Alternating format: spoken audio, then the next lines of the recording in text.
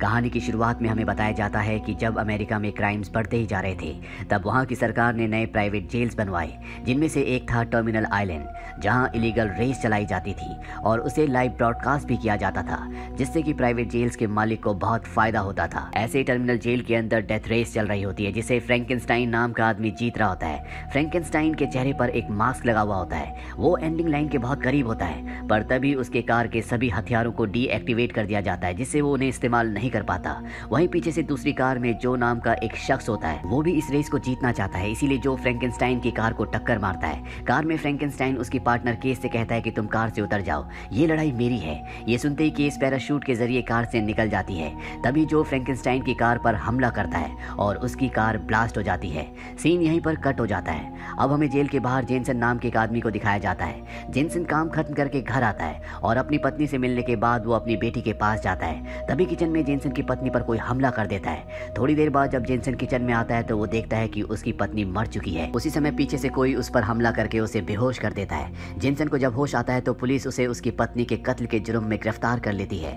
Jensen को terminal island jail भेज दिया जाता है। जेनसन जब खाना खा रहा होता है तो कुछ आदमी उस पर हमला कर देते हैं। जेनसन भी उससे लड़ता है, पर गार्ड आकर उन्हें अलग कर देते हैं। इसके बाद जेनसन को जेल की वार्डन के पास ले जाया जाता है। वार्डन जेनसन से कहती है कि जिन लोगों ने तुम्हें मारा है, वो बहुत खतरनाक है। यहाँ से जाने के बाद वो तुम्हें जान से मार देंगे। जिनसन की फ़ाइल देखने के बाद वार्डन को पता चल जाता है कि वो एक काफ़ी अच्छा रेसर है। वार्डन जिनसन को बताती है कि यहाँ पर डेथ रेस की जाती है, जिसमें खिलाड़ी अपनी जान की बाजी लगाकर एक खतरनाक कार रेस में हिस्सा लेता है। सारे कैदियों के बीच पाँच राउंड होते हैं। अगर कोई पाँचों राउंड जीत जाता है तो उसे जेल से आज़ाद कर दिया जाता है। भले उसका जुर्म कितना भी बड़ा क्यों ना हो, वार्डन उसे फ्रेंकिन के बारे में बताती है कि कार रेस के दौरान उसका पूरा चेहरा जल चुका था, इसीलिए वो हमेशा मास्क पहन कर रखता था। ऑडियंस को उसके लौटने का इंतज़ार है, पर वो लोग ये बात नहीं जानते कि पिछली रेस के बाद ऑपरेशन के दौरान उसकी मौत हो गई। वार्डन जेंसन से कहती है कि अगर तुम फ्रेंकिन बनकर रेस में पार्टिसिपेट करते हो तो तुम्हें बस एक ही राउंड पार करना होगा, जिसके बाद तुम आज़ाद हो जाओगे। वार्डन कहती है कि ऑडियंस को नहीं पता चलना चाहिए कि फ्रेंकिन मर चुका है, वरना शो की टीआरपी गिर जाएगी। जेंसन उसकी बात नहीं मानता, वो उसे इनकार कर देता है। वार्डन उसे बताती है कि तुम्हारी बेटी को किसी और ने अडॉप्ट कर लिया है। वो कहती है कि अगर तुमने ये ऑफ़र मना किया तो तुम्हारी बेटी हमेशा किसी और को पिता कहेगी।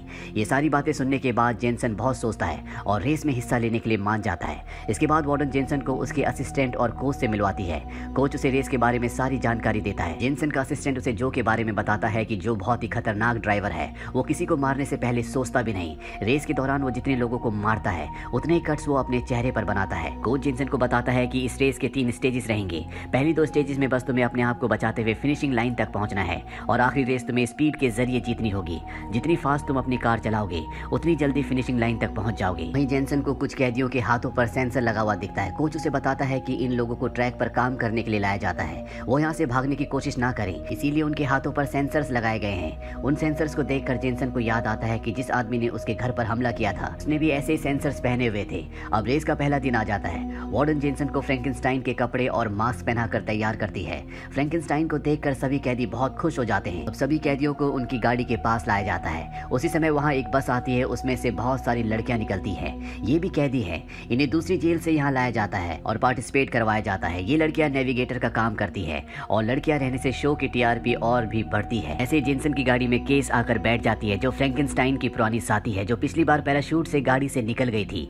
जेंसन की आवाज़ सुनकर वो समझ जाती है कि ये फ्रेंकिन नहीं है। तभी कोच आकर कहता है कि गाड़ी के शीशे बंद करने के बाद तुम अपना मास्क हटा सकते हो, क्योंकि गाड़ी के शीशे काले होने की वजह से बाहर से कोई भी तुम्हें अंदर नहीं देख पाएगा। कुछ ही देर में रेस शुरू हो जाती है, जिसका लाइव ब्रॉडकास्ट भी किया जाता है, जिसमें दुनिया भर के लोग इन्हें देख रहे हैं। रेस शुरू होने के बाद थोड़ी देर बाद जेंसन सबसे आगे हो जाता है, पर तभी जो उस पर हमला करना शुरू कर देता है, वो उसकी कार को बार बार टक्कर मारता है। थोड़ा आगे बढ़ने के बाद उन्हें रास्ते पर तलवार और ढाल दिखाई देती है।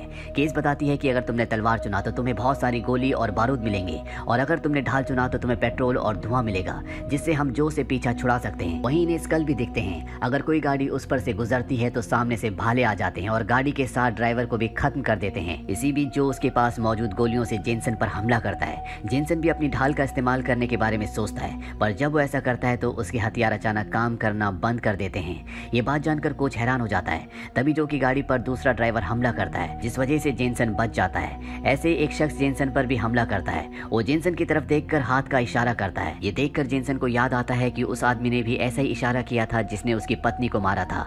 जेंसन को यकीन हो जाता है कि उसी आदमी ने उसके घर पर हमला किया था। जेंसन उसे मारना चाहता है, पर तब तक तक रेस खत्म हो जाती है। इसके बाद जब जेनसन अपने साथियों के साथ गाड़ी ठीक कर रहा होता है, तभी वो उस ड्राइवर को जाते हुए देखता है, जिसने उसकी पत्नी को मारा था। जेनसन उसके पीछे जाता है और इन दोनों के बीच में फाइटिंग शुरू हो जाती है। जेनसन उस ड्राइवर को जान से मारने वाला होता है कि तभी एक पुलिस ऑफिसर आकर जेनसन को बेहोश कर देता है। यहाँ से कहानी फ्लैशबैक में जाती है और यहाँ पर हमें पता चलता है कि वार्डन के कहने पर पुलिस ऑफिसर ने इसी ड्राइवर की मदद से जेनसन की वाइफ का कत्ल किया था और जेनसन को फंसाकर जेल में लाया गया था, ताकि वो फ्रेंकिनस्टाइन बनकर हिस्सा ले।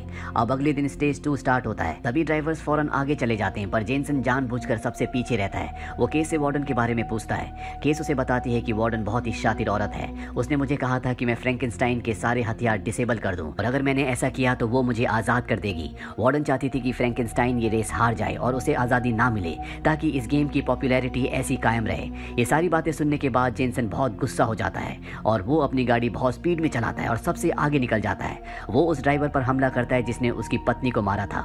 अब क्योंकि जेनसन सबसे आगे था, इसीलिए कोच और केस उसे ढाल चुनने को कहते हैं। पर जेनसन किसी की नहीं सुनता और तलवार चुनता है। जेनसन अपनी कार पलटाता है और उस ड्राइवर पर हमला करने लगता है, जिसने जेनसन की पत्नी को मारा था।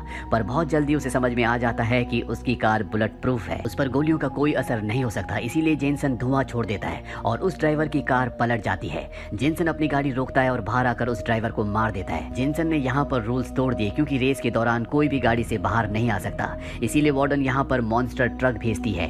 ये ट्रक सभी गाड़ियों पर हमला कर देता है और एक एक करके मॉन्स्टर ट्रक सभी को मार रहा होता है। उसी समय जेनसन कोच को जे से उसकी बात करवाने को कहता है। जेनसन जो से कहता है कि हमें मिलकर इस ट्रक का सामना करना होगा। जो भी इस बात के लिए मान जाता है, ये दोनों मिलकर उस ट्रक को दोनों तरफ़ से घेर लेते हैं और ट्रक ड्राइवर का ध्यान भटकाने की कोशिश करते हैं। थोड़ा आगे जाने पर ये दोनों स्कल पर उनकी कार टच करते हैं, जिससे वहाँ से भाले ट्रक के सामने आ जाते हैं और वो ट्रक पूरी तरह से तबाह हो जाता है। सेकंड स्टेज में सिर्फ़ जेनसन और जो ही बचते हैं, यानी फाइनल राउंड इन दोनों के बीच होगा। थोड़ी देर बाद जब जेनसन अपने साथियों के साथ अपनी गाड़ी ठीक कर रहा होता है तो वहाँ पर जो आता है। असल में जो को फ्रेंकनस्टाइन से मिलना था, पर जेनसन की आवाज़ सुनकर वो समझ जाता है कि फ्रेंकनस्टाइन अब मर चुका है, और उसकी जगह जेनसन ने कार रेस में हिस्सा लिया है। दूसरी तरफ़ वार्डन को बहुत गुस्सा आ रहा होता है, क्योंकि जेनसन अब उसके लिए खतरा बनता जा रहा है। वो पुलिस ऑफिसर को जेनसन को मारने का ऑर्डर दे देती है। अगले दिन पुलिस ऑफिसर जेनसन की कार में एक बॉम्ब फिट कर देता है, और अब फाइनल रेस शुरू होने से पहले जेनसन जो से मिलने जाता है, वो उससे बात करना चाहता है, पर जो उससे बात करने से साफ़ साफ़ मना कर देता है। इसके बाद जब जेनसन फ्रेंकिनस्टाइन के कपड़े पहनकर तैयार हो रहा होता है अभी वार्डन वहाँ पर आती है और उसे उसकी रिहाई के पेपर्स दिखाती है और कहती है कि तुम्हें बस कैसे भी करके इस रेस को जीतना होगा। अब जब जेनसन गाड़ी में बैठता है तो केस उसे बताती है कि मुझे वार्डन ने कहा है कि अगर तुम रेस जीतने वाले होंगे तो मैं तुम्हें रेस जीतने ना दूँ। केस की बातों से जेनसन को अंदाज़ा हो जाता है कि वार्डन उसे रेस जीतने नहीं देगी।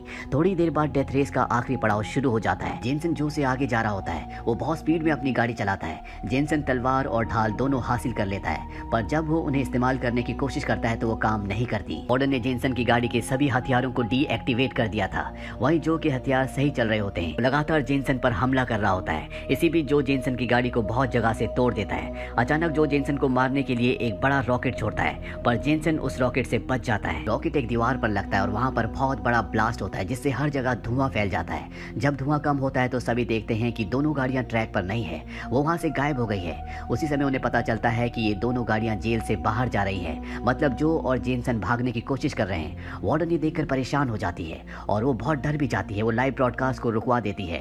वार्डन हेलीकॉप्टर को उनका पीछा करने को कहती है। साथ ही बहुत सारे गार्ड्स भी उनकी गाड़ी का पीछा कर रहे होते हैं। जो और जेनसन साथ में मिलकर उन हथियारों का इस्तेमाल करते हैं जो उनकी गाड़ी में है और बहुत सी गाड़ियों को तबाह कर देते हैं। तभी वार्डन को याद आता है कि उसने जेनसन की गाड़ी में बॉम्ब लगाया है। वो पुलिस ऑफिसर को उस बॉम्ब को ब्लास्ट करने को कहती है। पुलिस ऑफिसर उस बॉम्ब को ऑन करता है, पर वहाँ कोई धमाका नहीं होता। असल में वो बॉम्ब कोच और उसके साथियों के पास था।